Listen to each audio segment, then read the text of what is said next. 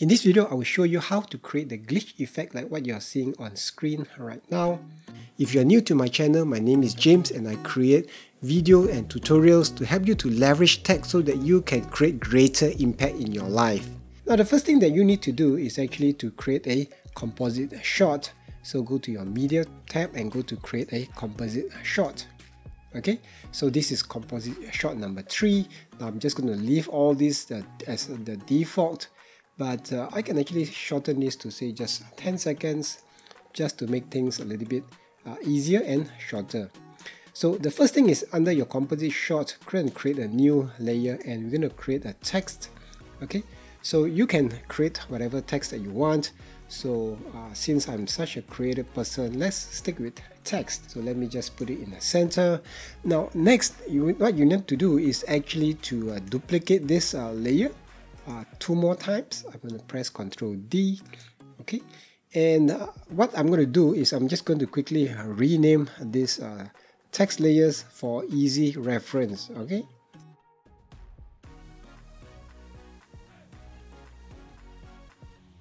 Now I've actually renamed the layers red, green and blue and you will know shortly why I do that. Okay, so now with the red layer selected, go to effects and look for level histogram and put the histogram onto all three layers. I'm going to resize this so that we can see things a little bit better. So we will work with the first uh, layer first. I'm going to switch off the green and the blue uh, layer for time being. So click on the red layer, go to your level histogram, and the reason why I have named the layer red is I'm going to change this to uh, removing all the green and blue. So with the channel selected as green, I'm going to change the output to 0. Okay, repeat that to blue. I'm going to change this to 0 again. Okay, and what you end up with is a red text. Okay, so basically what we are doing is RGB split. I'm going to lock the first layer and I'm going to turn on the green layer. I'm going to repeat this for the green and blue layer as well.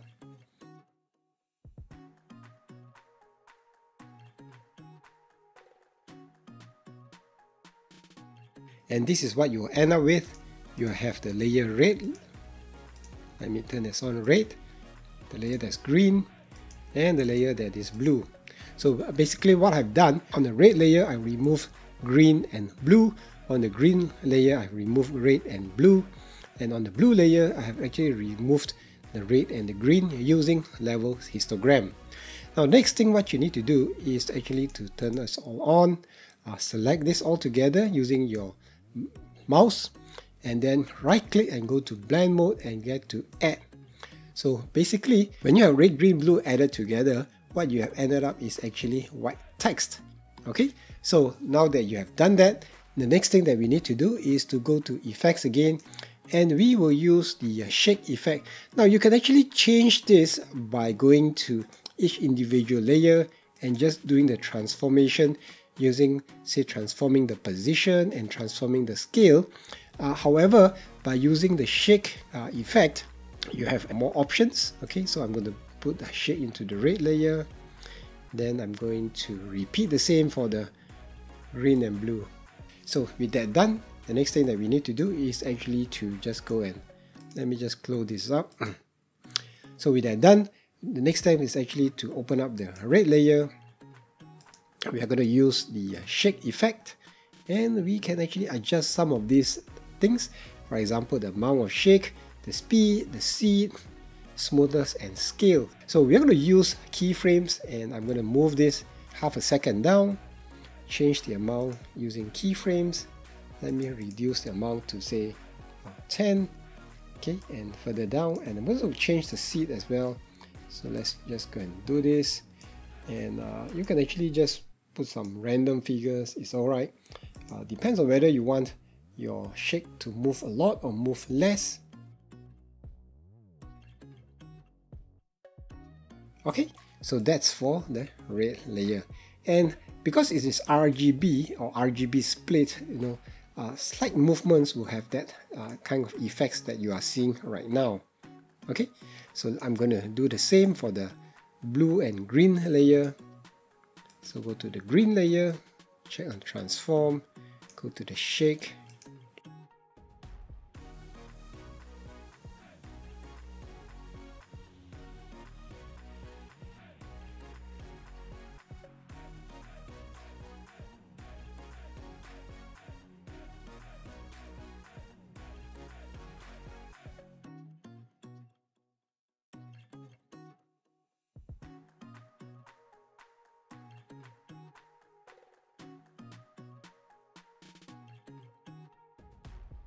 something like that.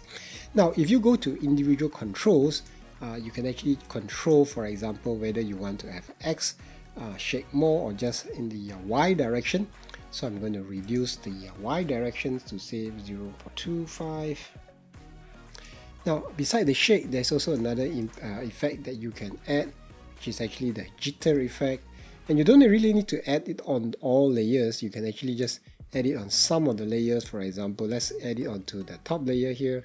So let's get back to the editor. So if you want you can actually just put the put this text over any building. For example you can put this over this building here. Whoops. Let's put this up. Put the building here. And you can actually adjust the position So there you have it, creating text glitch effect using HitFilm Express by just using the uh, split RGB as well as the shake as well as the jitter effect.